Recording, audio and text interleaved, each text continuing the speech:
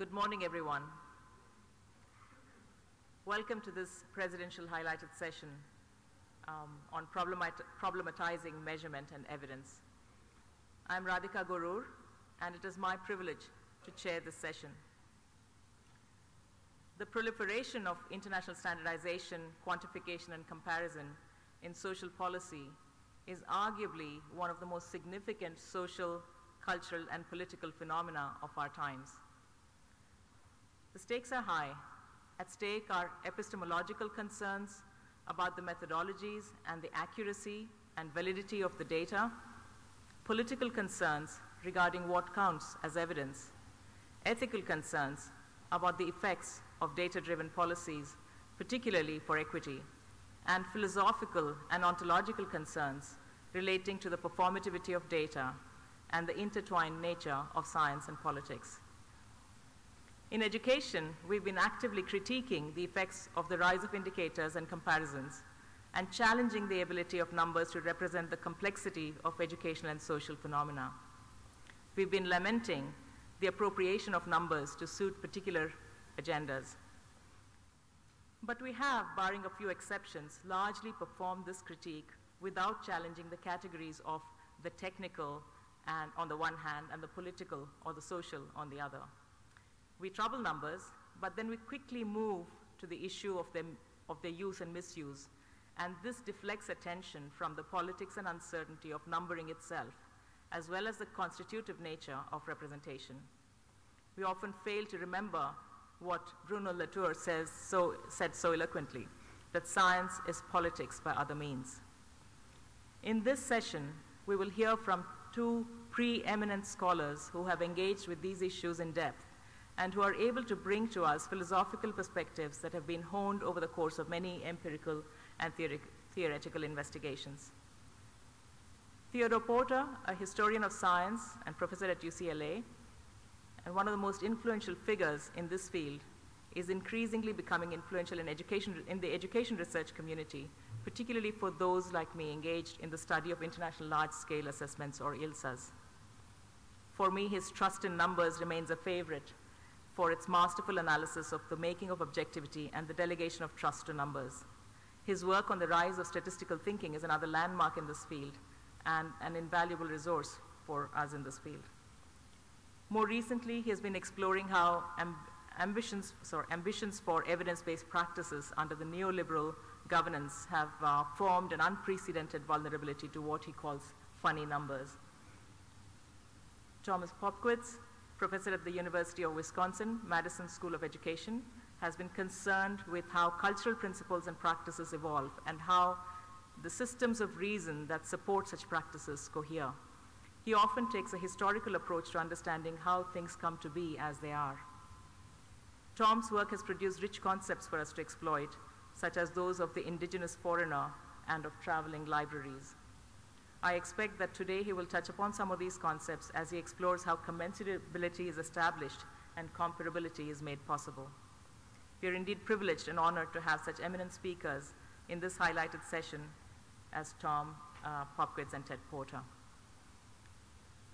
Uh, in terms of the structure of this session, each speaker will speak for about 25 minutes or so, and after that we will have um, plenty of time to engage in discussion and questions. I now invite Ted to commence his talk, and he will be followed by Tom. Ladies and gentlemen, Ted Porter.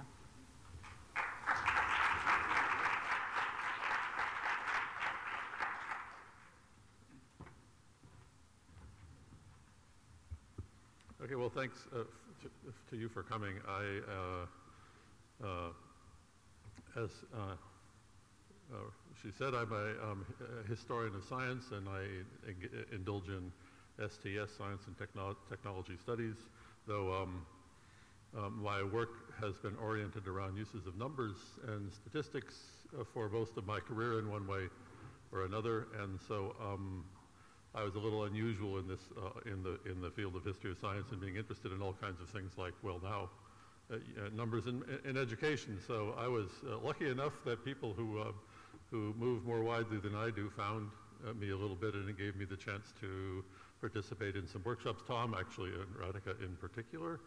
Uh, and now I get to, um, to participate in this session with uh, all of you. Um, so that's, that's a real pleasure for me, and uh, I hope to learn something, and the work that I, you will actually, in the course of this, see a little bit about what I've been doing just recently, the book that is, you know, always just to appear and may finally do it, but, uh, and then actually I'm, I hope to make something of uses of numbers in sites like education, but to say sites like as if it were just a, you know, a, it's, uh, if not uniquely, it is a very, a, a very prominent and important site and one that I began, you know, looking into and trying to think about what I could do with really before I made real personal contact with, uh, with people who are engaged in this too. I'm obviously learning more, I'm still learning more from them than they from me. I thought I would not try to, um, you know, to, uh, uh, to, to spend, except, you know, by implication to talk about education as such, but to kind of give the perspective on number that I am working from and to point uh, here, here and there to, uh, to bits, and I'll say just a little bit about my perhaps not extremely well-informed views about numbers in education at the end, that I hope that in the discussion uh, this will um, this will provide a, a, basis for responding. And I um, don't have my clicker. Do you have the clicker? Oh, are, they, are you doing it over there? Okay, so. Uh, oh, oh, there it is. Yeah. Okay. Right. Yeah. No, good. Okay. Perfect. So um, uh, so I start a little bit whimsically, and yet I think that this. Uh, I just want to think about indicators. I, maybe I'll just say one more thing that I, another of the uh, interactions that I quite valued was when somebody found me and invited me to a conference on indicators, and this actually, this, this talk reflects but goes beyond a paper I wrote for this conference called The World of Indicators. That is now a book which I highly recommend, and they are both interested in being constructive about indicators and different kinds of indicators, as well as the limitations and the ways that indicators can, can be misleading. So anyhow, I'm going to start with this uh, oh, anyhow, I, I, gave it, I gave a talk for them, and uh, it clearly wasn't appropriate for that purpose, and I tried to go excavate a little bit the sources of indicators. And this uh, very funny one is um, comes from actually from the late 18th century when Europeans in South Africa found uh, actually that the Khoisan had, um, um, and now the, the Dutch colonists had found this bird called, which they called the indicator bird. The word indicator is first of all the muscle, which allows, uh, allows the index finger to uh, point, uh, but this indicator bird was um, a guide to honey. So here's actually, this is what a literary figure, uh, Leigh Hunt, wrote when he started a journal called The Indicator in the 1830s. And what he says is, uh, well, anyhow, I'll just, I'll just read this, this bit of it. There is a bird, he says, in the interior of Africa whose habits would rather seem to be the interior of fairyland, uh, but uh, they have been uh, well authenticated. It, is, it um, indicates uh, to honey hunters where the nests of the wild bees are to be found.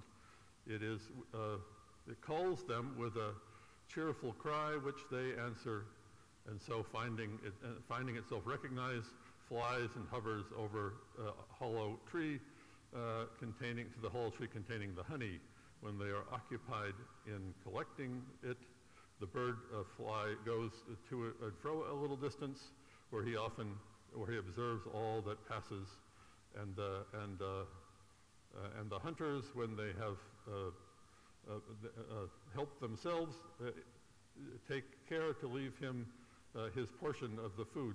This is the, the cuculus, indicator Linnaeus described, otherwise known as the Maroc bee cuckoo and so on. They call it cuckoo actually because it also has a characteristic of leaving its eggs in the nests of other birds, but in fact was not a cuckoo at all. But the indicator that this strange, th this strange bird should actually lead people to honey seemed, seems very weird to everybody. And when I found this old site, I didn't believe it. But it is in fact certified still by, uh, you know, by the um, database of birds, the Avibase, so there it is. And uh, this uh, literary figure thought it was analogous to what he was doing because he wanted his literary miscellany to guide people to those honeyed nuggets of, uh, of literary brilliance that, uh, that rather, that is, it was, a, collection of things rather than any particular thing. Uh, and the indicator, um, um, you know, so uh, the taxonomists uh, go after it, and people want to see what exactly what exactly it goes on. It gets in, it gets tangled up in a uh, a bit of a um, oh a competition about or a struggle about what's appropriate to do with this bird. The those who got their honey from the bird insisted that it, you should treat the bird decently so that they will continue to. First of all, they deserve it, and secondly, because they uh, they deserve their meal for what they have provided. But and if they uh, if and they will stop behaving that way if the, if they're treated badly. A, an 18th century Frenchman, and here's the English, English translation, uh, refers to um, um, his own experience of this, a particularly big uh, version of this bird. My Hottentots, he says, who respect on account of the services which it rendered them, renders them, begged me to spare the bird. A new species, however, was to be added to my collection, and I killed it. So, and actually now they're interested in what, what this bird is actually eating. They confirm uh, that, it, uh, that it was uh, feeding, it fed on honey. It also had a very tough skin, which would allow it to resist the stings from the birds, and, uh, and uh, so on. And that indicator bird um, became the model, oops, um, became the model for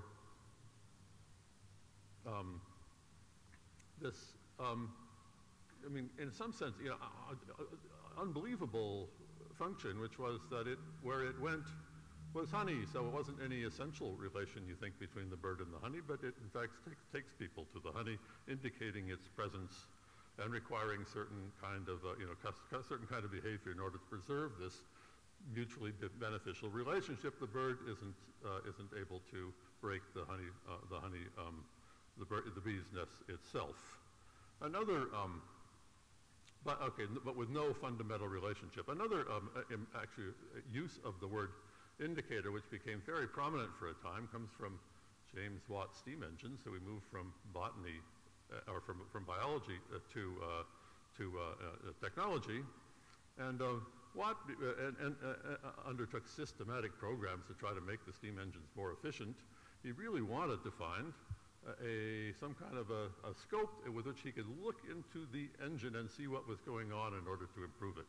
Um, that was, he could never get rid of the fog and so on. He kind of gave up. And finally, actually, as a second best solution, he thought, he invented this thing, which is called the indicator diagram. And actually, it um, maps out a, uh, a four-sided or a curved four-sided figure whose uh, um, the area between these lines actually indicates the amount of energy produced. And Watt eventually, actually it isn't Watt, but, but his assistant John Southern, who uh, developed this, and then Watt put it onto a um, onto the onto the piston, so it actually produces this sort of this curved uh, rectangle.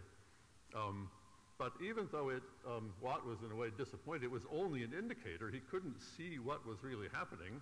However, um, in fact, it was measuring the very thing he wanted, so the indicator proved to be kind of better than the thing itself in that case, and we have to allow that indicators can be, or, I mean, the indicator, the indicator function can be quite valuable, is often valuable. Um,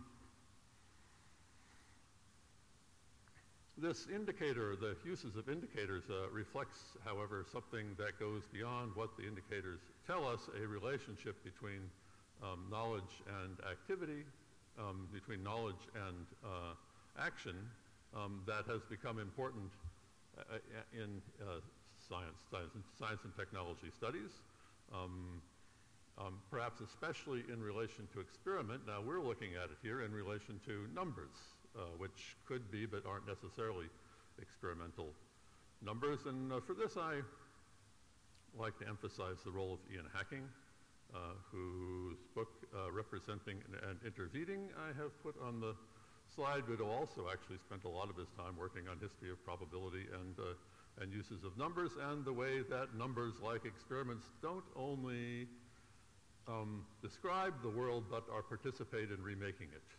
Now, in a way, for experimentation, that's, that should be self-evident uh, because uh, the experiment is producing something that doesn't happen, you know, in nature before people uh, intervened. Numbers are often taken to be descriptive, but numbers reorganize action. They produce new incentives. They also are engaged. They are participants. They're part of a process of intervention.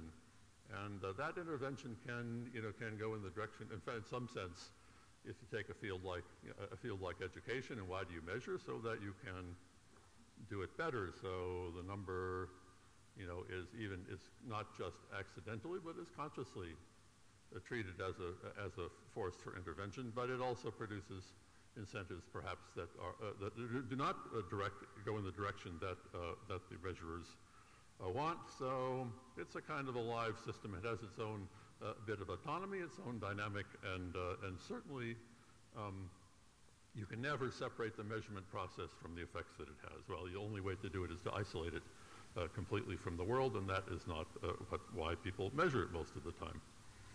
Um,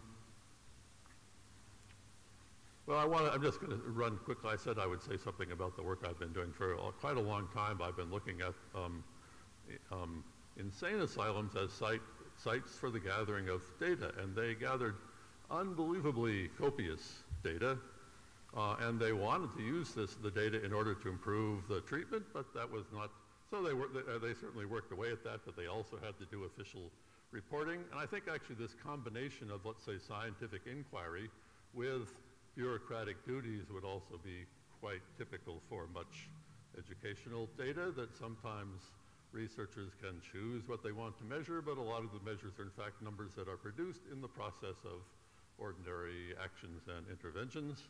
And that certainly is the case for these guys. Um, now, I'm actually interested above all in how, in how they studied heredity, but which, uh, which they, in some way, I, I claim are the place where um, human, the study of human heredity really got going, and we're still where all the data was coming from in the 20th century in the age of eugenics and the, and the, and the beginning of human uh, genetics. Um, but uh, uh, looking at all these official tables, I also saw quite a lot about the, the, the, tables that they, the only tables they cared about more even than heredity, and that was the tables of their success rate. Uh, were they curing their patients? Um, the short answer would be not probably so well, and the, the whole history of treatment of the insane starts off, oh, starts off, that is to say, there is a, um, a massive growth of, uh, of uh, uh, insane asylums in the 18, from the early in the 19th century, but really taking off in the 1830s and 1840s and 1850s, at first with massive, you know, great hopes and massive confidence, and then increasingly with, with in despair as the, and actually one sign of that despair or indication, as it were, of the, of the failure is that the cure rates go way down, but they are extremely interested in their cure rates, which were the validation of, the, of what they were doing. So the numbers were, and they sent them off every year in, you know, to uh, administrators in order to demonstrate the success of their institutions. Um, but the, there were various reasons not to be too confident of these numbers after all. I mean, one uh, is that um, the numbers were extremely high at the beginning and then they went down. And this, this, the 19th century believed in progress even more than we do. Uh, what's this about then? They were confident their architecture was better, their treatment methods were better. They said, why are the numbers going down? There must be something wrong, there must be something wrong with these numbers. Or all actually a, a related indication, as it were, of this is that the, uh, the, for, uh, early in this, uh, in the career of these institutions, they show wonderful cure rates, and yet the population of the, that is the number of people, the size of the institutions, it just grew unbelievably, way faster than the population grew, and the population was growing fast. So it seems quite discouraging. And so actually we, get, we see some um, um, very sharp critics. Isaac Ray, who was, who was interested in law and psychiatry, but also directed his own, actually a, a sequence of American institutions, says it would seem as if results like these these, these statistics could not be other, other than, otherwise than correct. He says, what could be more elemental and what, you know, more uh, true almost by definition than, uh, than data from the operation of an institution. He says, because they are but the general expression of the facts themselves, because they are but the general expression of the facts themselves. It is this very appearance of certainty which sometimes, as in the present case, blinds us to the actual fallacy, which we, and we uh, go on accumulating and hugging our treasures of knowledge, he says nice little phrase, and hugging our treasures of knowledge as we fancy them until we find at last we have been ingeniously deceiving ourselves uh, with an empty show, well, substance has uh, uh, completely escaped us. Well, let's just look a little bit at what he's talking about.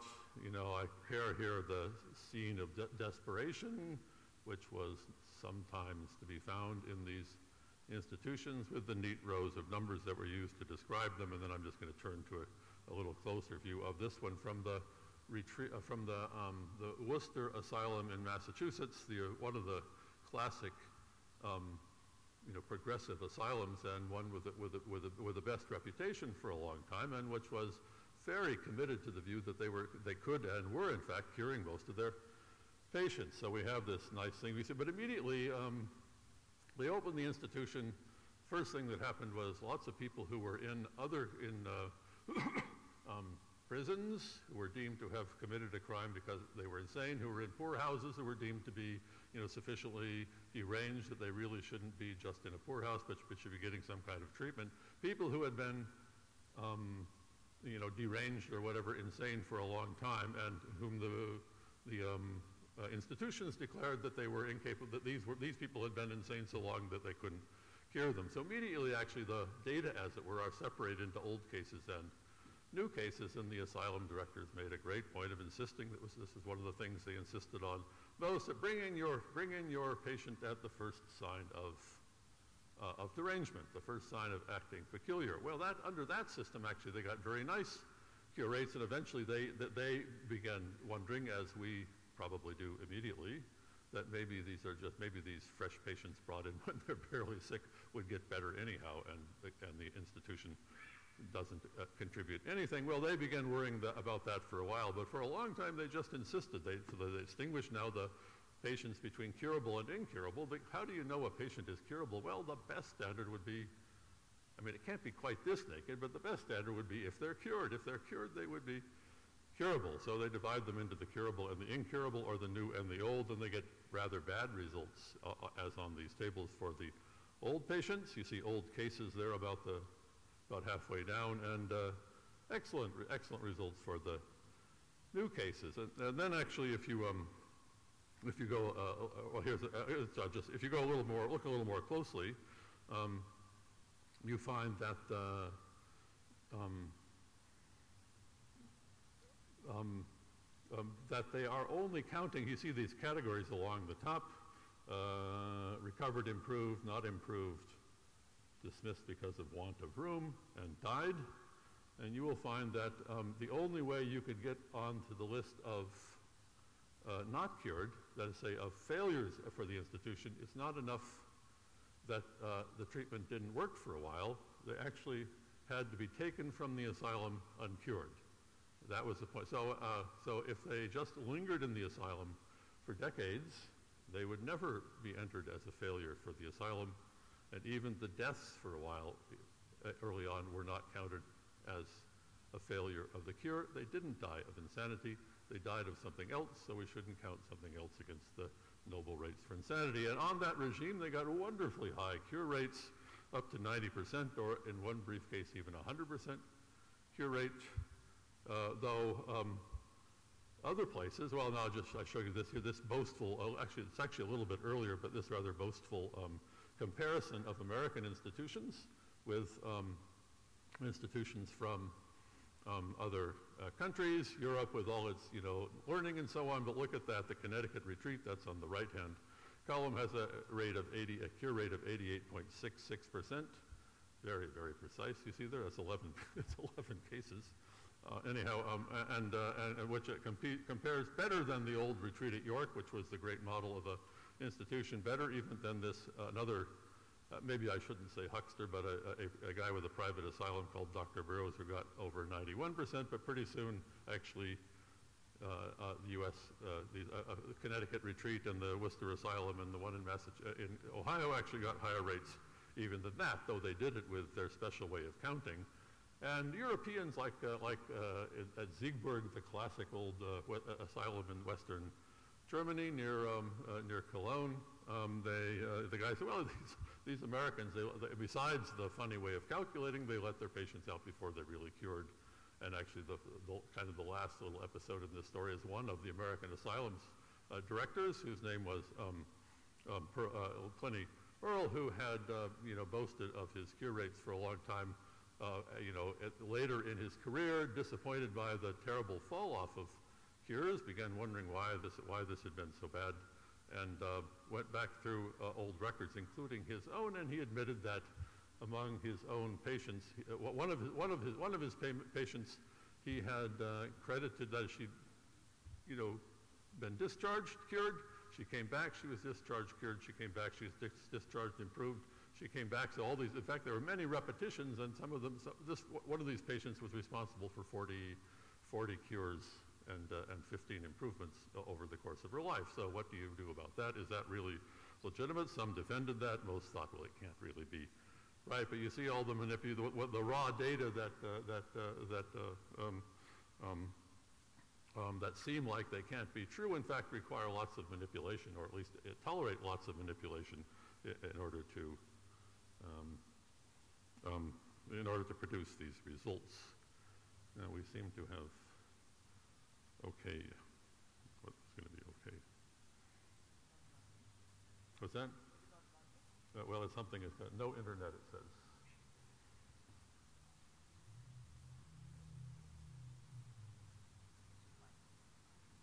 Okay, good.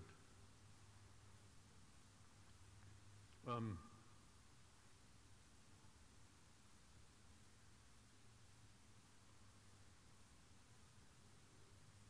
okay, I'll just, I think probably um, skip by that quotation. Here's, uh, here, now we get to something more like what we, uh, what we really know of as indi- indicators, 1920s, after the First World War.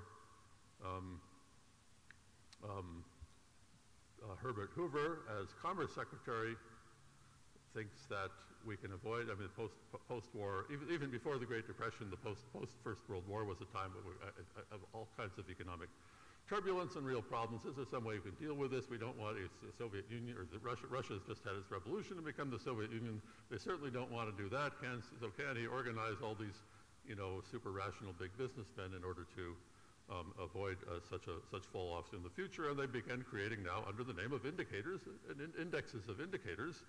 Uh, and actually, Mar- Mary Morgan, a a wonderful historian of economics and economic historian, taught me almost everything I know about this one. And you can't really read that graph, I know, but actually, what the point is, actually, they've divided. They have they have all kinds of all kinds of quantities that are you know produced in in uh, e- economic life, and they've graphed them all. And the ones that seem to rise first become leading indicators. And in fact, uh, um, as qua indicators, they are quite peculiar in the sense I'm not going to do this, but if I read the, the, the sorts of things that are in the leading indicator, they are utterly inco- in, uh, you know, they have nothing to do with each other. They're very incoherent. It doesn't, they, there some doesn't mean anything, or at least if it was going to mean something, that was something that would have to be discovered.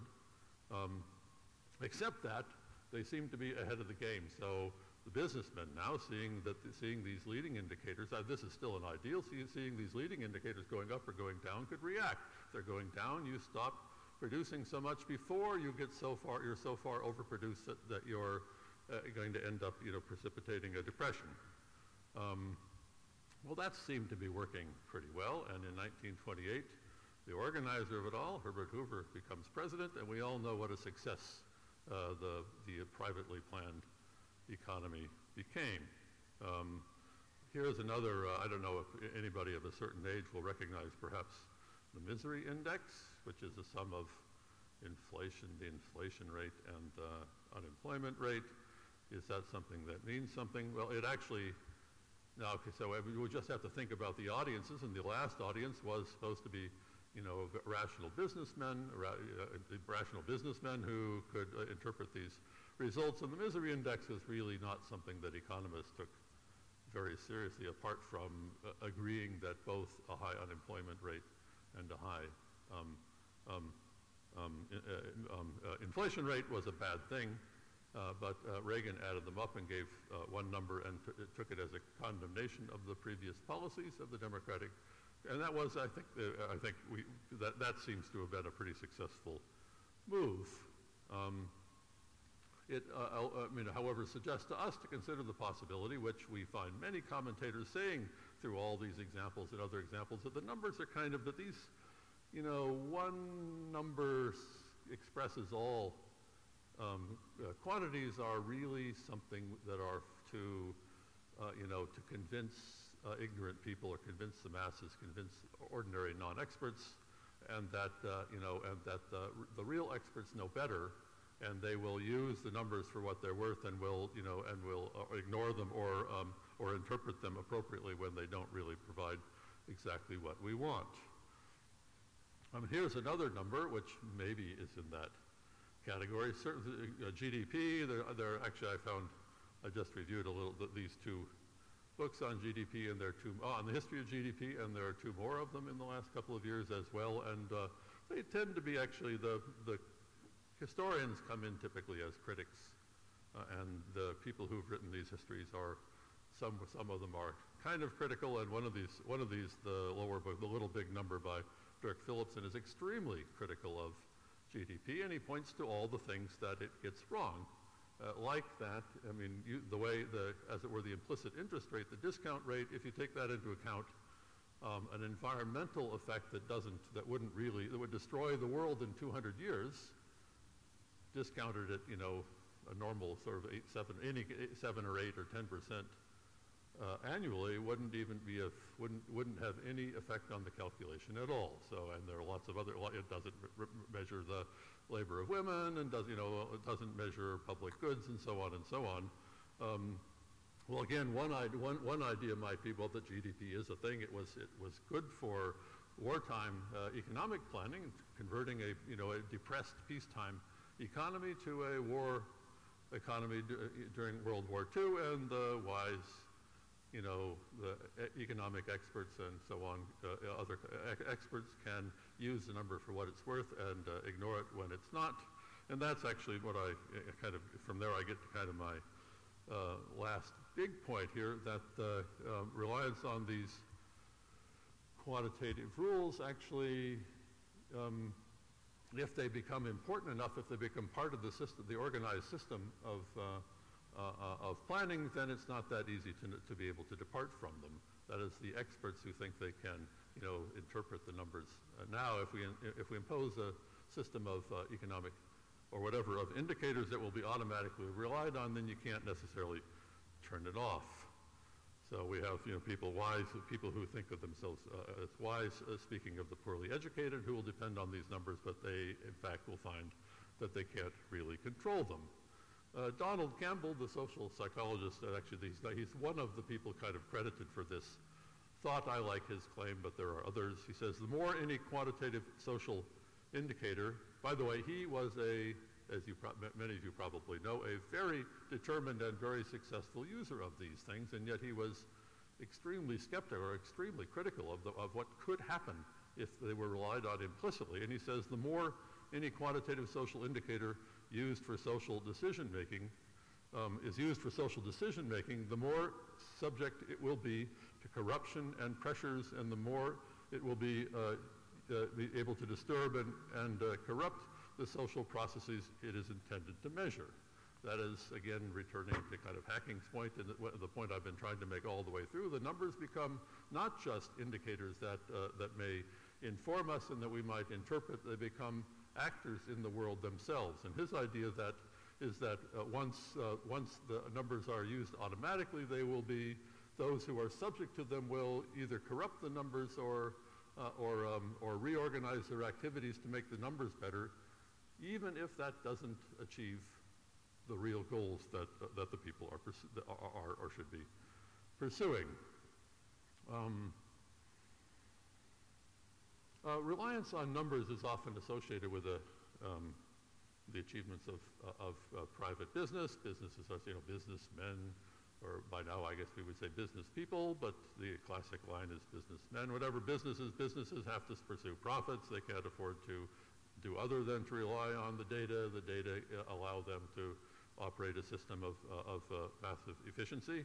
And certainly to do without numbers would be um, impossible and unthinkable. It would be impossible to uh, run the business, but the firms are also actually uh, have produced some, I mean, the rumors or the, allegations of, you know, of, of reliance on false numbers are everywhere, and there certainly are some, of, some cases of this where they're quite well documented. The very classic form of uh, General Motors, the form of management that General Motors uh, developed as a multi-centered firm was to leave, you know, each division to, because they know, they know what they're doing best to leave each division to, to make its own decisions. Um, and, uh, and to judge them by the results, the results being now accounts. Um, and, um, but uh, there always is the possibility, which happens already with in private industry, of, uh, of manipulating the numbers or at least you know, moving things in so you get the, the right numbers in the years that you want it or possibly even altering the numbers so that um, um, uh, the numbers show excellent results even though you know, they, they, they hold out for as long as possible until finally, you know, the manipulation leads to a crash. But that is the, finally the, the numbers become honest. So I think that this, um, this, the, okay, this idea of decentralizing, um, um, to be quite plausible, I, um, I find the kind of philosophical perspective of the oh, chemist and philosopher Michael Polanyi, or F.A. Hayek, who's very well known as a, as a founding figure, of, you know, the organizer of the Mont Pelerin Society and a founding figure in what we, what's called, uh, what I will call neoliberalism. Um, but the use of numbers to regulate this kind of activity depends on the numbers actually, not only that the numbers could provide this kind of information, but they even are, would be strong enough to resist the, the uh, effort to corrupt them. And that, I think, businesses have not been able to do, and certainly governments have not been able to do. And it is the world in which, for instance, teachers or, uh, or school administrators live, as well as we try to subject, uh, you know, uh, educational um, results to numbers, to use numbers either to provide systems of rewards for the schools, maybe even for the individual teachers who would have some kind of a, you know, a corrected, uh, uh, you know, measure of the amount of valuable learning that they have provided to their students, um, but the incentive to alter the teaching, either to, either to go into, actually Atlanta is the famous site of the superintendent who has her teachers erasing answers on standardized tests, and eventually she, she uh, held out until she died, I think, but, but, but her schools were, some of these schools were closed and the teachers were fired, uh, and they, the, the teachers there didn't see how they could do otherwise and to try to protect the schools they love so much. But, uh, but uh, that's the most naked kind of cheating, but the subtler kinds of cheating are, are perhaps the more interesting ones as, uh, as uh, you know, these, as these measures are bent and corrupted or simply perhaps that you teach to the test as specifically as, as, as, as you can in order to keep your school uh, uh, functioning. Um, it actually doesn't necessarily require a, you know, an automatic public policy in order to do that. A recent book by uh, Wendy Espeland and Mi- Michael Sauder, uh, en- Engines of Anxiety, is about law schools. And actually the force for, um, uh, of the numbers is, is in the form, it takes the form of the, um, the U.S. News and World Report uh, rankings of law schools, which for various reasons, I mean, U.S. News is, is really preeminent. It's the only place that is taken seriously uh, for doing this, though the, the, uh, uh, the law deans almost uh, to a person condemn them as misleading, as ignoring so much that's important, as uh, um, corrupting the process. Uh, um, and yet, you know, all their, you know, for a time they thought they could ignore them. It proved that they couldn't do it. Um, um now the and uh, and that they you know now investing you know increasing resources in all the different manipulations they can make in order to you know to raise the ranking of their school was actually out providing the kinds of services that they once valued or by by giving up some of the services that they once valued i um, oh everything from sending thousands of i mean spending you know vast sums of money to send you know beautiful catalogs to all the people who will be giving the informal, that is giving the informal assessment, the expert deans and law professors who will rank all uh, lots of other um, uh, law schools as well as um, you know getting manipulating numbers so that you know the 75th and the 25th percentile are good and you can below that because that's what the uh, they, what they measure, or, um, or uh, you know, putting some people in, uh, in uh, evening school for a while until they get past the point where they're measured, because they wanted, you know, the different kinds of diversity indexes they're trying to get up and so on. So it isn't, that didn't even require, you know, automatic state regulation, but just the prestige of the numbers which other way they know how to choose, use this one automatically, uh, forcing all kinds of corruption. Well, I, we fin- I finish again mentioning the schools. Uh, you know more about these things than I do. I certainly, certainly numbers have a validity of a kind within specific kinds of situations. It's less clear whether, I mean, but, but, but different goals for education in different places might be totally legitimate. What sense does it make to make everybody fit the same standard, and even apart from that, uh, this, uh, that's even apart from the, uh, uh, the inevitable temptation to somehow, uh, you know, rejigger the program so that you can improve the numbers when everybody's paying attention to those numbers, and that's what you're being judged by, even if it doesn't produce, you know, skills in the students. That was what people were hoping for. So, what's to be done? I don't think that we can do without numbers. Uh, but somehow um, putting them in an automatic role, creating the situation in which the numbers themselves are made to decide, uh, uh, perhaps does more harm than good. So, and with that, I'll finish. Thank you.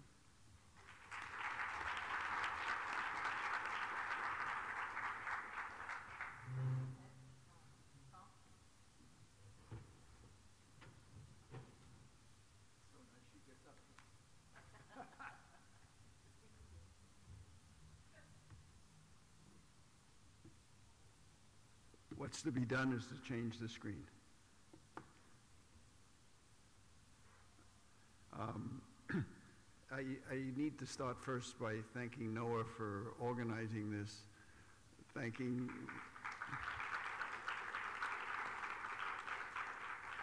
I'm going to tell his kids that what an applause he got.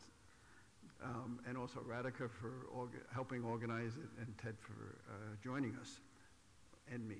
Um, now I have to get out of my, his slideshow and get to mine. Um, I also have to acknowledge this guy over here, Andy Kazamias, who yesterday we had a panel for celebrate his 90th birthday. He's one of the founders of this society. And then for those of you who don't know, we went out for dinner and he danced Greek dances, which I could not do, but it was fun to watch him. So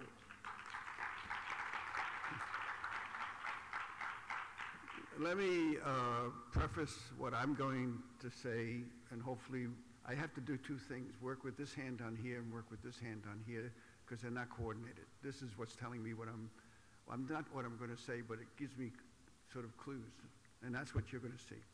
Um, I'm going to take you on a little bit of uh, intellectual odyssey, but it's also a political and, and social odyssey about methods. And what I'm concerned about, that much of what I see in graduate training, uh, but also when I go to meetings, is where they talk about methods in science, they're talking about techniques. And when they're talking about techniques, they're denuding it of any sense of its science, and they're also denuding it of its sense of history.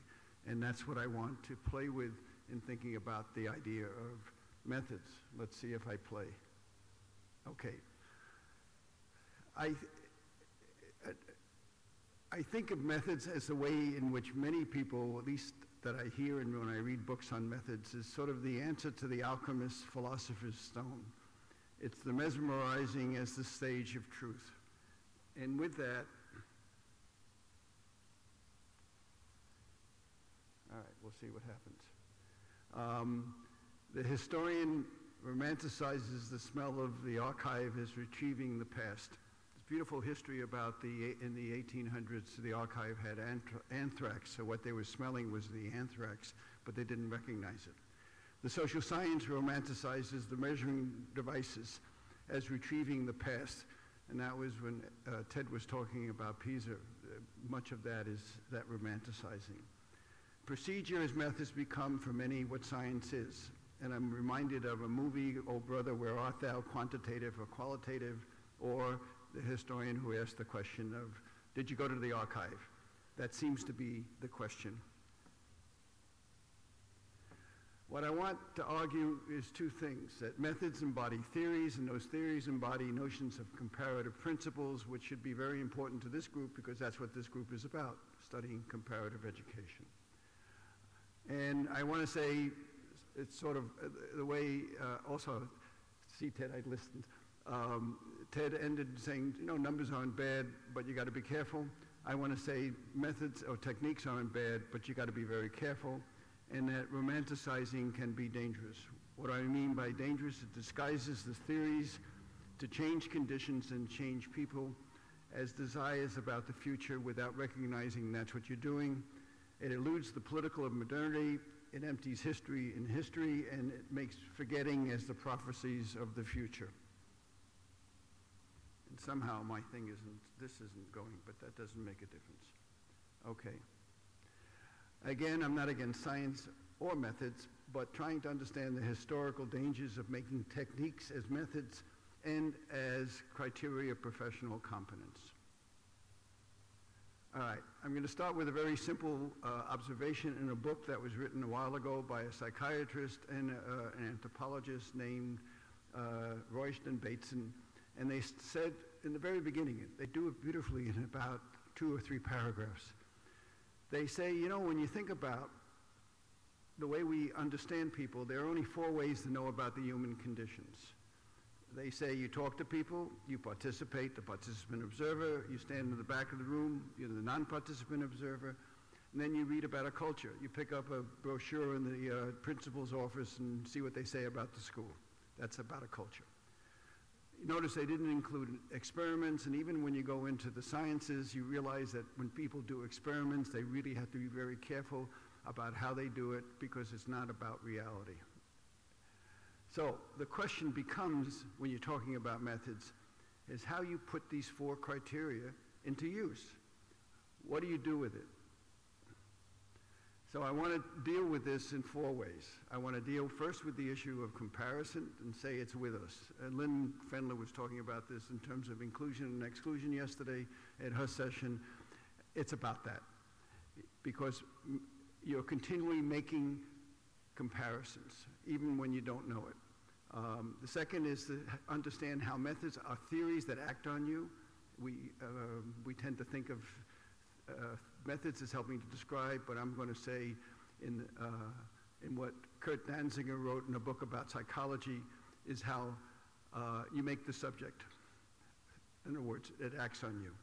The third is to talk about two kinds, and fourth, two kinds of discourses analysis, or one is um, one about when we talk about context through looking at qualitative research, and I'll do two examples there, and then look at numbers as how numbers also define context. And I'm doing that because one of the things that really goes unquestioned in a lot of the work I read is how people keep talking about context without ever thinking about what that theoretically means. So that's, and I'll do this very quickly. That's why I said it's an odyssey. Um, hopefully it will be by the end of this this summer it will be uh, a text, but at this moment it's an odyssey. Um, the issue of comparison. Let me start with this very lovely painting, uh, which would have been modernized if you look at it very carefully. And um, there's two ways of looking at this, besides the fact that he's holding his iPhone. Um, one is he's making a comparison. And the comparison is very much what Burgerberg and Kellner call the homeless, I think of as the homeless mind, but not the way they think of it. And what he's doing is looking at something at a distance and trying to understand how you understand the self in relationship to that. That's a comparison. And so the clouds become a metaphor for thinking about the self and the poet. And this is sort of uh, 19th century romanticism, which is very much related, by the way, to the Enlightenment, but that's another story put this next to this. Here's, and there's different ways in which you see it, but again, it's comparative. The minute I did that, you have another form of comparison. And the comparison could be on its representations. That is, look out, he's looking at the mountains and look at the mountains and the trees and, and the painting. A different way of looking at it is through another way of reasoning. And the other day I had a really, I thought was interesting discussion for me because I'm very much interested in the idea of how this pastoral image becomes um, brought into social science at the turn of the 19th century, at least in Europe and in the US. And the pastoral image becomes very important when you think about the, the way in which early uh, sociology, for example, talked about the family, talked about primary, um, primary relations, communications. Embedded in that was to take a rural idea of the pastoral and try to urbanize it to deal with immigration and the, the consequences of immigrations when face-to-face relations were no longer important.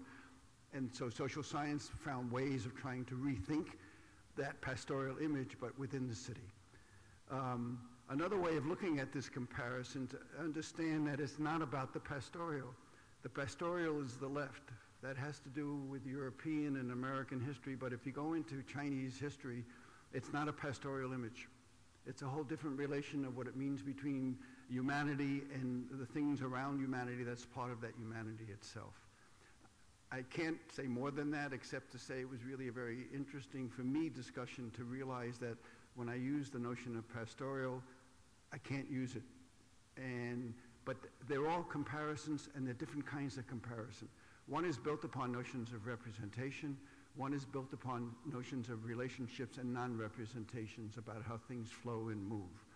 All of them, though, are comparisons. All right. And here you can see another, for me, another example, and I won't spend too much time on it, except to say that the images here are not images in the sense we would use it in terms of trying to understand what's being represented and how they're different and similar. Um, in, and so there are different ways of reading. And part of the idea of thinking about when you construct methods is how you begin to construct ways of understanding that recognize how you're understanding differences and what that, that comparison is about. By the way, that was the panel yesterday, I thought, the one that Lynn and uh, Steve Carney and Daniel Friedrich were in, where really gave theoretical and um, empirical uh, focus to how you can think about non-representational ways of thinking. All right. So what do I want to say about comparative studies? Um, people have always compared as they've always remembered.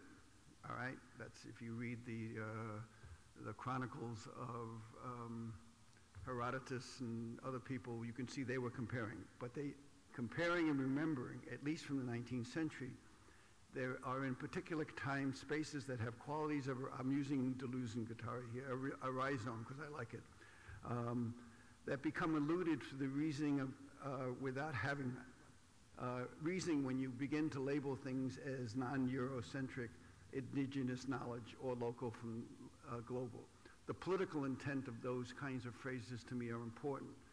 The epistemological politics of those things need to be unthought because they tend to create a way of comparing that reinscribe the very kinds of things that um, you want to get away from. At least I think, um, especially in comparative education. Okay, let me go on to my second point. Methods act, and they act in ways of making facts. Now, I'm not saying that there aren't facts, um, but I am saying that you make facts. Things happen in the world, but you have to have some way of noticing them. To notice them is to make them into a fact. Um, things do exist, but this is not a pipe, but it is a pipe. And I want to, and I'm just going to mention this because um, there's a lot of discussion today about what is the new materialism. I don't know if this is the new materialism, but I am talking about something that is material. I'm not talking about constructivism. Um, just to position myself, or at least have you position me. Um, whether it works or not, you'll find out. All right, let me give you some examples of how methods act to, in a sense, produce particular ways in which world is acted on. Let me begin with a very simple example of American polling. American polling is an invention of the 1920s in political science, I'm not talking about education here. Why is it interesting? It's interesting to me because one of the things that you begin to have in American progressivism, which is, it's interesting to me about how educators write about American progressivism, is that you begin to have a breakdown of the way in which you govern through face-to-face -face interactions the, the town hall of New England no longer is, is possible. And American political science pick up the polling as a way of trying to reinsert the way people feel they have an interest in society and are being respected for their attitudes and ways of, of thinking about things because the polling captures that as an institutional way of dealing with it, even though the face-to-face relations are no longer there. Anyone who reads today's papers can see how that polling has become, in, in effect, a way of talking about what is real and not real. Um, the second example is um, the correlation coefficient of Karl Pearson, which is very much used in education if you do statistical work. And Pearson adopted this from Galton as a descriptive statistics for fitting uh, distributions of samples. Pearson was very much interested in the colonial process. He was very much interested in what was happening in South Africa in the Boer War and trying to prove the superiority of the British in terms of why the colonial system was a good system to have. It's not that you can't use this kind of statistics elsewhere, but it's, it was theoretically built upon a, a particular kind of assumptions to understand differences and compare that are not exactly what we think of when we use it. The last example is um, Bourdieu's notion of um, distinctions, which many people probably, I hope, well, if you don't know, it's, what he tries to do is map out French society to understand taking Marx, but turning Marx into a, a cultural problem is how is it that distinctions and differences get produced? He looks at statistics, at least the regular statistics, and says, I can't use it because it's theoretically not what I want to do because I want a correspondence. And he goes and tries to find something which he calls correspondence theories and able to build this map of French society. Each of these examples give you, I hope, an illustration of how embedded in the very techniques you're using to, to uh, make facts, to understand and, uh, and explain, but also what is desired about this society are embodied in these technologies that you borrow. Okay.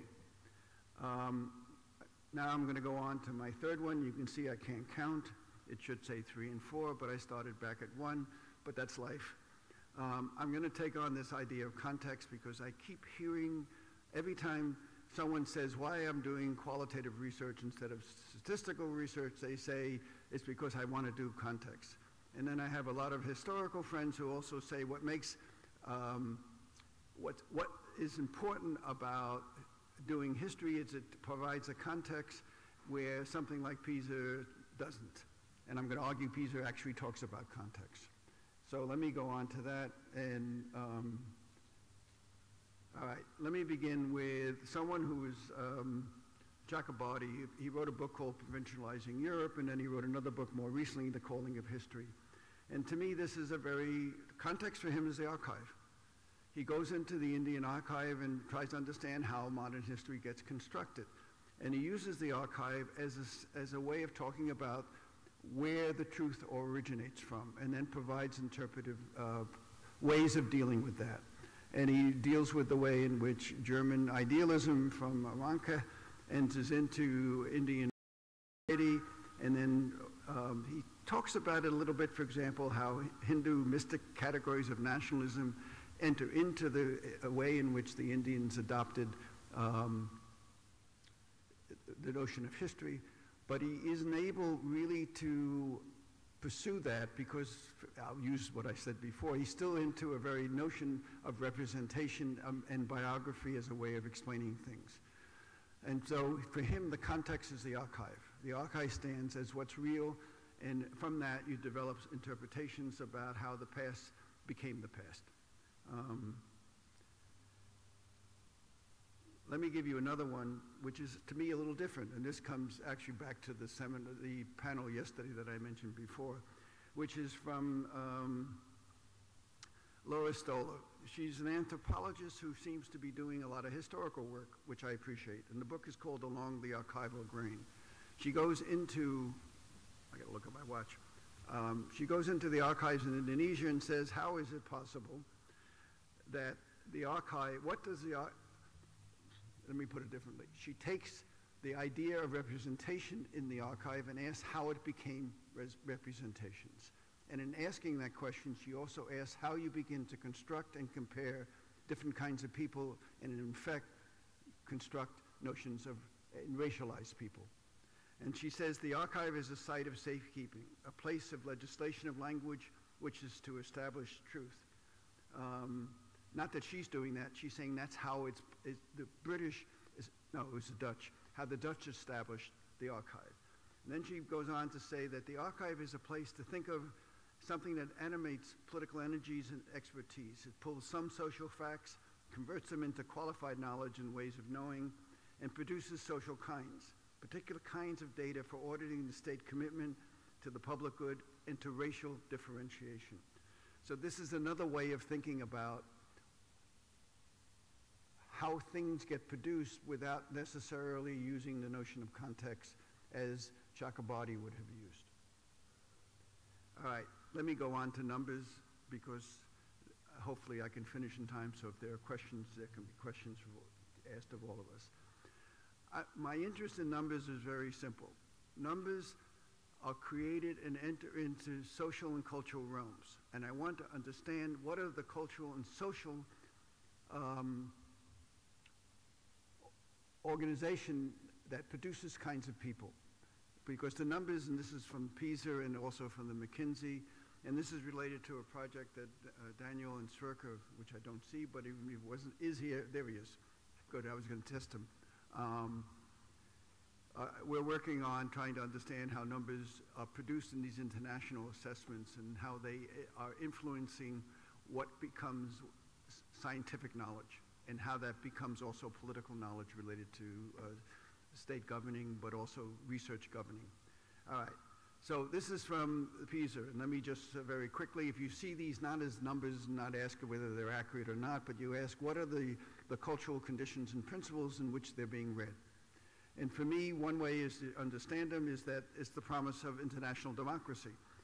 These charts rank nations, and then they say where you fall somewhere. It's like a GPS system, but of nations and people. And then the idea is then how you somehow can um, develop models to change those societies so that they can get to the top. So the promise is some notion of democracy. It, and deal with also inequality, because you can see the inequality here by the way they're ranked, and also the graphs, and the graphs become ways of sort of uh, indexing who people are and who they're not. It also is a way of taming uncertainty but with the notion of certainty. And what's also embedded in these notions is that there is a pathway, I'll get to that in a minute, to finding yourself at the top. Um, there's a joke once in Scandinavia about if you want to get on a plane to Finland, all you had to do is talk to people and you'll find out they're all finding, trying to find out why Finland is at the top and so that they can export it back to their country. Um, here's the model of OECD. This is the Swedish model that was, they come in and they do this thing, here's the certainty. I mean, it's very hard not to read this as a notion of certainty. Um, and they also, not so much they, well, they do also, but the McKinsey reports, which are about also the same thing, which also talk about highways. And highways, you know, have destinations, and the destinations usually are fairly clear. Um, and that's your certainty. It's built into the modern notion of how these things are formed. So the very method of statistical analysis is not just about statistical knowledge. It carries a, a theory about what society is about, but also what's desi desired as society, but it also carries a notion of the normal and the pathological. And I love this. When I saw it, I was really, I couldn't understand how they, this would be done, but also why anybody would allow people to do it. This was a Swedish report when we were having a meeting. Um, it just came out this is a while ago, and there's Sweden at the bottom. And what's so lovely for me about this is if you go to Sweden, you realize it's, it's a really very interesting, modern, economically doing well. The schools generally do well. There are issues there as everywhere. But according to this, they're pathological. You can see, and I didn't highlight it. This was OECD highlighting them. I'm there. Um, now, you can say it's only statistics. It's not if you read carefully these things, you realize they're talking about not only the, where people fall on this GPS system, they also talk about making kinds of people, and also in it is embedded in a notion of what the society should be. Because in, in these statistics are cultural um, ways of thinking about people. For example, teachers. Um, in other ones they have, I don't know if I have it here, um, yeah, um, in this one, Um, you can see they're not only talking about teachers, they're talking about every child, which also means that they have some notion of what every child is. Um, they also talk about who's not that child, um, the unmotivated child, um, the fears of the poor, the immigrant, the ethnic and racial groups. These are actually texts, uh, quotes from some of the texts. So you can see that it's not just about numbers. The numbers become cultural ways of organizing how you think about people and what they should do and what they shouldn't do and who's not that person. Okay, I'm almost done. Back to the future. There are no facts until you make facts. That's where methods come in. And I like Einstein very much in this respect, um, and Bobby other respects too. He said very nicely once, we cannot solve our problems with the same thinking we use to create them. But if you look at most of the things that I cited, they're using the very categories that, that come out of the sort of the social realm in which they're uh, organized as a way of organizing what research is. He also said something else, I, I couldn't find it, but I remember reading it. The most important thing when you're doing research is to ask the question, and then the methods will follow. And we tend to move often in the other way. And the final thing is this. I couldn't find the exact one. I went, I was visiting a friend of mine in molecular biology, and his neighbor had, she had a, um, a cartoon. It was very much like this. It wasn't from Shutter. It was a, a scientist with a butterfly net trying to catch her question. And, it's and I said, well, why do you have that on your door? I sort of knew. She said, that's how I think about science. And that's not starting with methods or techniques as a way of engaging and thinking about both what you're trying to understand, but also the issue of comparison. Again, the very, to summarize, to stop, actually, to say you, it's really important to pay attention to um, how we think about methods because they're not just getting us data. They construct and organize the way in which we act in the world, and we need to be very careful about the dangers of that. Thank you.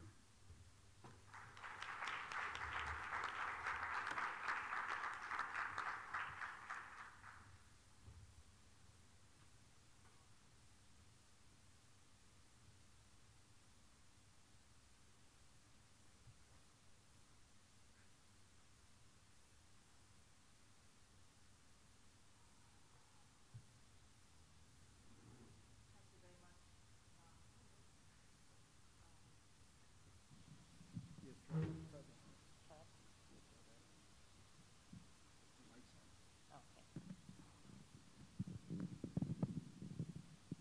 It's hard to take this off, I think.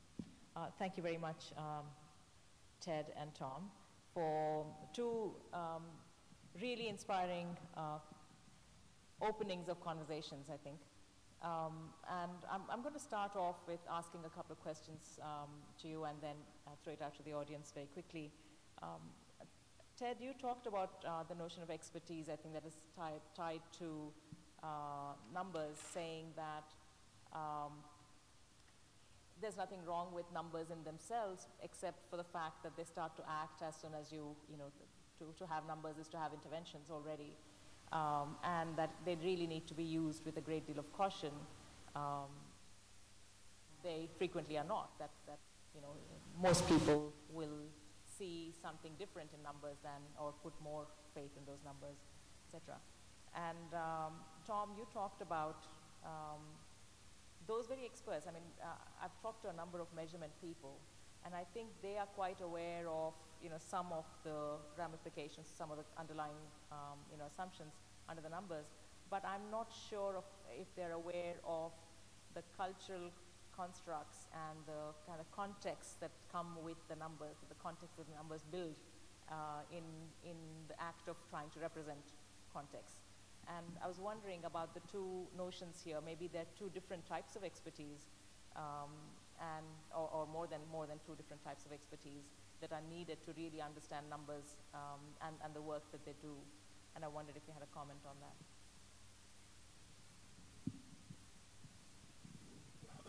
Um, you know, I don't know how many kinds of expertise there are. I would just offer the perhaps counterintuitive um, possibility that in some ways strict reliance on um, you know rules of calculation actually denies expertise.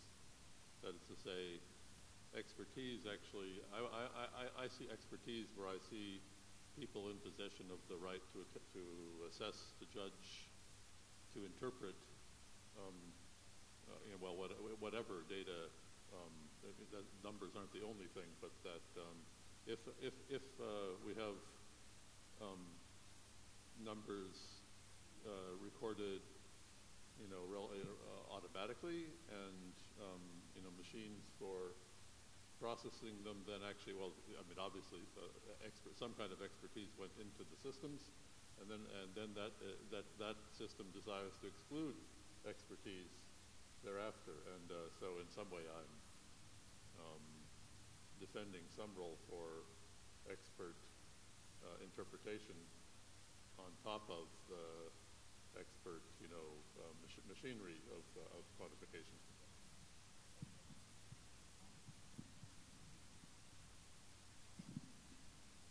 I'm not, I'm not sure how to get into the, uh, I had a really, for me, it was an interesting conversation. Um, Sverker and, and Daniel and I did a report for the uh, Swedish Science Foundation on these international assessments, and we gave it to a colleague of mine in Madison who works with OECD, and um, he's a very thoughtful guy, and um, he reacted to the to the our report, but at the same, I talked to him one day riding up an elevator. That's how you talk to colleagues, by the way.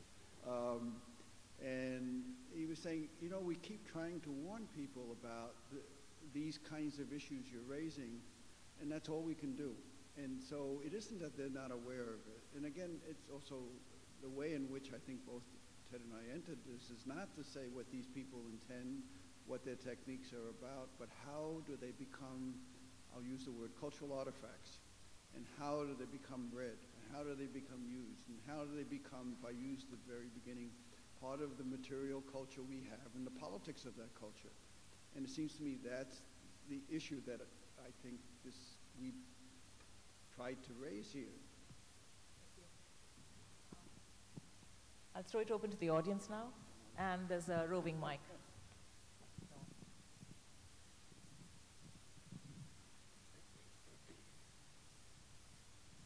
Thank you. Um, I have a question for Tom.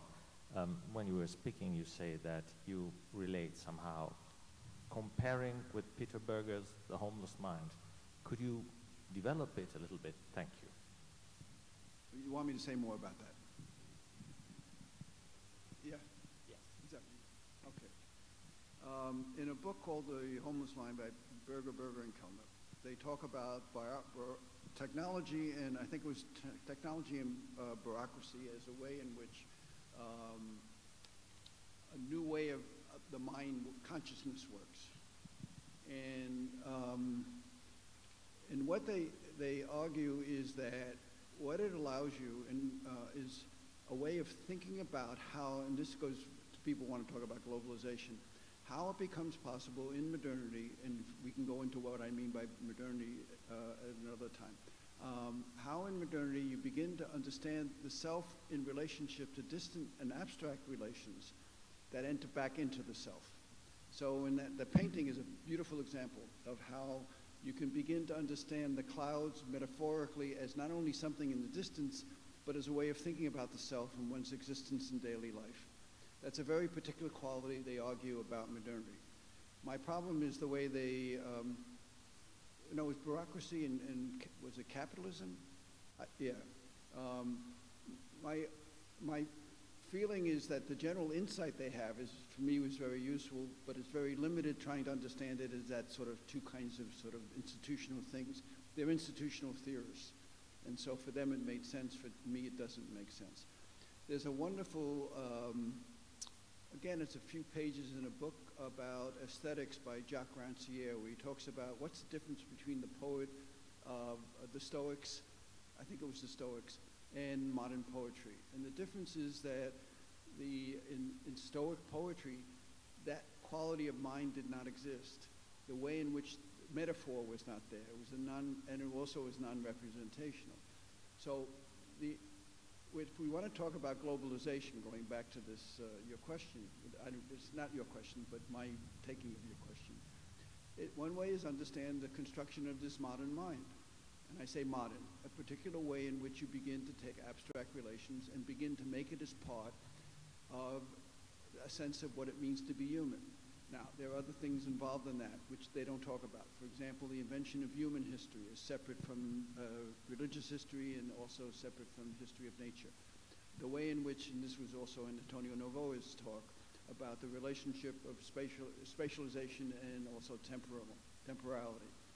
Um, this is a particular quality that's involved in a lot of the ways we think about comparative research, and I'm going to bring it back to that. So what the homeless mind does for me, because that's what I'm interested in, is how is it we think? And think as a historical and social and political phenomenon, not just as Dewey says, how do we think? Does that help? Okay. It's a good thing I thought about it.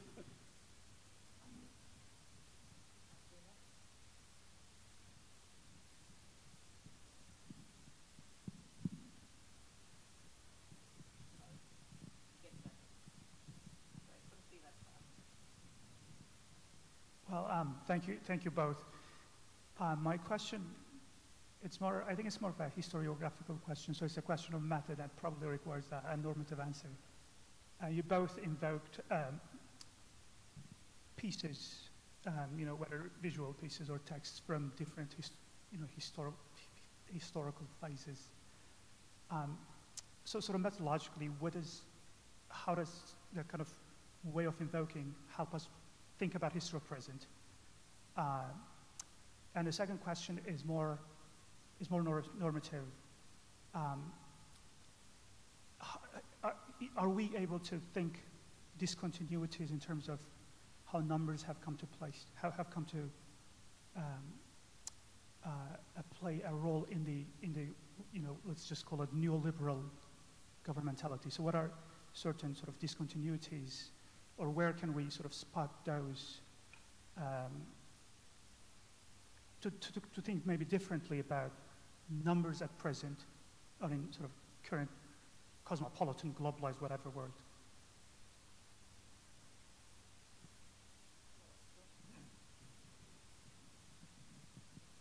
I'm not yet sure what kind of answer to give about, uh, about uh, the, the first part of the question about historiographical uh, or what um,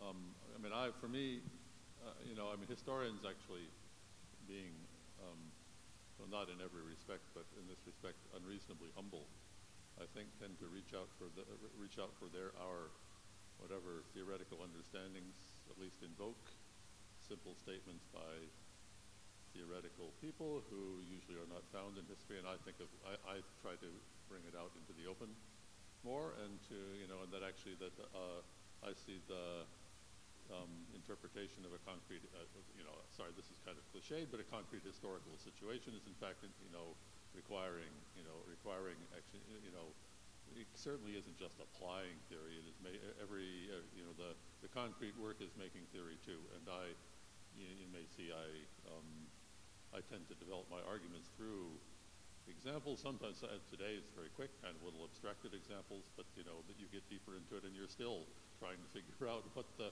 right way of approaching a thing like this is. So you never, you know, it never, it never, uh, the theoretical part never goes away. So, uh, um, um, and then uh, this very interesting question about neoliberal. I've become a little, you know, sheepish about using the word, um, but and yet there is a real aspiration. I put up a, a, a slide with, uh, you know, what um, um, New Public um, in, um, in, in um, um, but actually, I, I, like to say also, echoing a, uh, a title of Bruno Latour, we have never been, we've all, um, we've, we've never not been neoliberal. That is say, uh, that is say, this problem of, of, of uh, you know, I mean, that Stalin, you know, you find his, uh, I'm just going to say we do not think of as the, uh, as the great neoliberal, uh, and we find, you know, sometimes you find, you wonder, what did Stalin have to say about Lysenko? And you actually get, as they got in the archives, they find he's, you know, he's dealing with it very, you know, very concretely and condemning all these people. So he's, you know, at the finest level, Stalin sometimes intervenes. Nevertheless, Stalin can't know that much. You know, no matter how much somebody wants to intervene at all the details, they can throw themselves into this or that. But in fact, they're always, they always have this problem of coordinated decentralization. And anybody who shuts that down is guaranteed that that that place is not going to last, you know, two weeks or you know. So um, in fact um, this, uh, you know, the relationship between the, you know, whatever, the, the dictator, the central office, the headquarters, and, uh, and individuals who have to, you know, figure out what this means and are going to combine something about the, you know, the ambitions of the collective, the firm, the state, whatever, with their own petty, you know, private ambitions and, you know, perhaps selfish ones and perhaps their own construal of the public good. That, in fact, is going on in every situation. That doesn't mean that, um, that the aspiration, the particular aspirations of, you know, that whatever Hayekian, the kind of neoliberal doesn't, doesn't alter things. It alters, th- it alters things, but the, it's not, it's not unique. It's a, it's a solution um, it's, it um, validates a certain solution and so uh, you know, call, you know highlights a certain solution and and, uh, and, heightens the, role in some way of a solution which uh, you know or of, a, uh, of a, a, an approach to a problem that in fact every kind of every kind of I mean well every political order and every business order faces I think so. Yeah. Um, I think of a method like a yo-yo. You know what a yo-yo? I mean, ask your daughter. Um, I'll use this, but I could use other things. The question for me in my mind was, what do we mean by method? Because I keep hearing it in ways that disturb me, is because it's anti-intellectual, it's anti-historical, it's anti-scientific. Right, that's my bias. How about that? And so the question is, how do I respond to that? How do I think? And then you start inventing ways of thinking about it and then playing with things, objects, whether it be in an archive or whether it be in a book or whether it be elsewhere, to try to interrogate it. Uh. Collingwood said it, I think, nicely for me. I think it was him, where he said something like, "What's what do we mean by science? It's systematically trying to find an answer to something." And so, to me, that's a method. And then after the fact, you say, "This is how I did it." Um, it's the same thing when I do ethnographies. I mean, it's really sort of nice. Or even if I go in an archive, and I do do that too. I want you to know that. Uh, I feel more virtuous. Um, it's you, you, you have these things, but what Ted just said, you have to learn how to read them. And how do you read them? It, and that means playing with what's there. And uh, that quote from Einstein is very useful for me. You just don't take the words of people as the way, because that's what the problem is. How did the words get there? And so uh, um, a method is something you have to construct. And then after you sort of explain it about how you did it in a way that makes sense to people, and that seems to me should be reasonable to them too. Um, and that's what's unreasonable is the way we have it a lot, which is you say, here's my problem, um, and then here are my methods, as though somehow the methods are sort of carry the day to make sure that that legitimates that you're telling the truth. And so you have to be suspicious of that way of thinking of science. It's a very technical way for me. It's a very intellectually technical way, and it denudes it of all the, I don't know if I want to use the power, all the, um, the, the qualities of understanding that should be arriving from this way of doing things by treating it as a technical activity. Um, this is, I guess, for both of you. You pretty much answered the question I was going to ask, so I'm going to sort of uh, come up with a different one, a follow-up. So I was going to ask what your method is, um, partially because the method of inquiry that you're using is, for both of you, is so um, discursive and inclusive of all sorts of different methods, sort of the butterfly approach. My experience, and I think that of my of students, is that if you wrote like this, this this goes to the how what you're talking about enters into the sort of discourse of the field.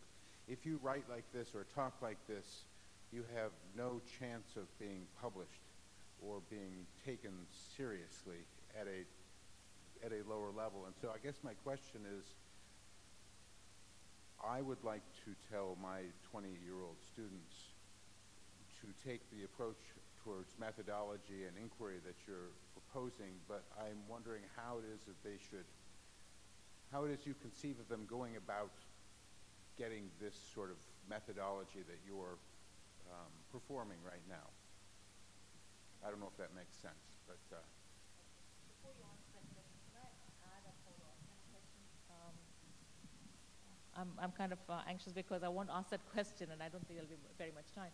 So it kind of piggyback on the, on the other question about kind of maybe like methodological, um, I don't know, uh, plurality or uh, what, I, I, I guess.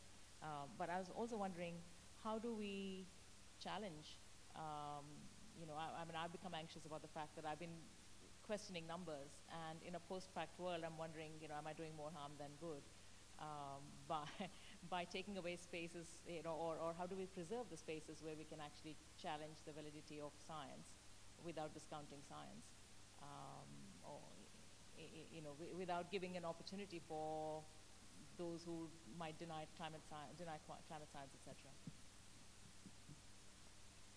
I'll answer very quickly. And then you could they're not doing, I mean, you had some quotes from uh, science and technology and stuff.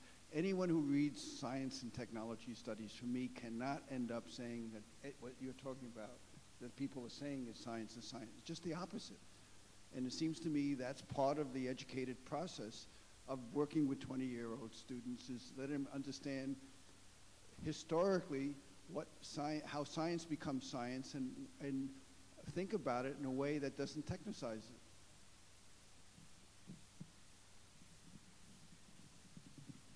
You know, I mean, I, I, I'm not an expert on um, probably, you know, what your students are up to, and you have to find ways to adapt what you what you believe to the, or adapt your methods so that they can express what you're trying to say. And I don't, you know, there's not one unique answer to that, but you know, if you believe uh, that um, uh, you know, that's uh, a departure from the standard ways is necessary to get, you know, to get a better grip, grip on what's going on or to provide a basis for better policies, and you have to try. And I don't, don't I don't think I will pretend to, to tell you, uh, you know, how to do it. Um, uh, this whole question of, um, are we, you know, are we criticizing science? I mean, um, I, you know, I uh, have been defending, you know, the need for, you know, intelligent, um, you know, experienced, you know, educated uh, people to be able to, you know, then to interpret, and that has to be important. But some things are kind of some some things are. Um, well, I mean, nothing is truly simple, but some things are are well enough established. And I mean, I had a little revelation one time when I was sitting with my. I have a zero percent appointment in statistics, which isn't a very high percent, but I was sitting with my zero percent colleagues, and, they, and at first I thought that kind of admirable humility as they explained how um, statisticians are always are always needed for reviewing, you know, reviewing papers, reviewing reports. You know, has the, was the the um, you know was the, was the thing carried out correctly? Is the analysis correct? And actually, they were extremely humble. My these uh, these, coll- these colleagues of mine, you can't really tell what's going what's going on until you understand the subject area. And as you know, the historian in me just said, you know, at first I thought I felt warm, you know, about this. That's got to be the right way. And then I thought, but there are actually, I even recognize, I mean, I am not, I'm only a 0% statistician, yet, I recognize flawed designs sometimes. And, um, and then I wondered, and I still wonder actually, but I don't really want to, I won't name any names or anything, but there is a whole, oh, I know my history of science colleague, Robert Proctor, who, who uh, you know, is quite brutal in attacking, going after various kinds of experts, historians as well as statisticians who have been willing to you know, to exploit the little ambiguity to uh, to uh, deny the causal importance of tobacco in uh, in lung cancer and a lot of other conditions, and uh, and then you find out that you know, I mean, so he he publishes the names of all these people who took money in order to testify. So actually, now we also have this uh, the scene where, in the, at least in the, American system, you um, you know, your job is to you're paid by one side and your job is to, you know, within some uh, rather rather supple bounds of uh, of uh, you know legitimate interpretation to make to, to, support your side. So what, what, we do have to be prepared to say somehow we have to we have to um, be able both to say that things are complicated and it's important to understand the complications and to say some things are after all when you've done it all when you've gone through it you know, it's still clear uh, and some things are, you know, pretty clear. It's always good to have honest challenges, but uh, some things are clear and somehow so, uh, and uh, it's not as if, I mean, that is to say these experts, um, whatever, um, some, um, they ha may have their own personal crotchets, but they may be in the employ of somebody else, they may, or they may be taking, feathering their own nest, so the, you know, relying on expertise of well-qualified people by itself isn't isn't, is, an, is not an adequate solution either. And sometimes, yeah, you need we, uh, inflexible methods.